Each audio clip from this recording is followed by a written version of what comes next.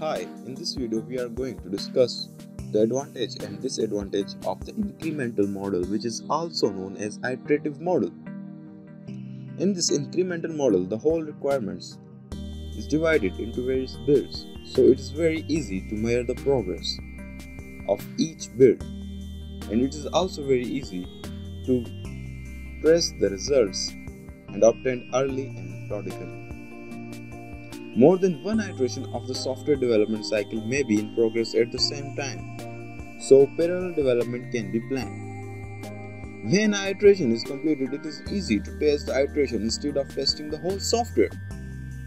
So testing and debugging during smaller iteration is very easy. Easier to manage risk. High risk part is done first. When a build is completed, it is delivered. So, with every increment, operational product is delivered. Issues, challenges, and risks identified from each increment can be utilized or applied to the next increment. Risk analysis is better.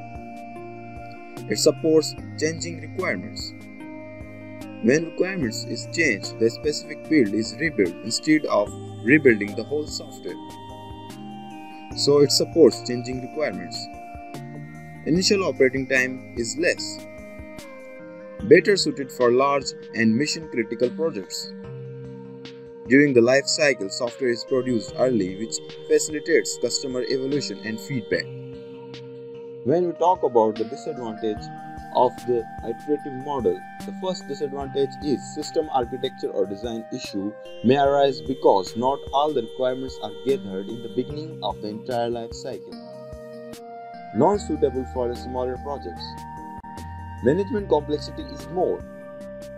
More management attention is required. More resources may be required.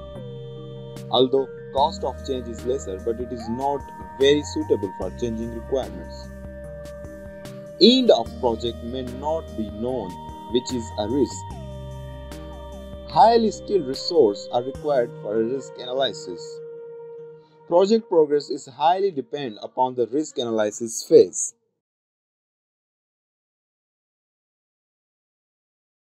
If you like this video, don't forget to subscribe my channel and share it to your friends as most as possible. Thanks for watching.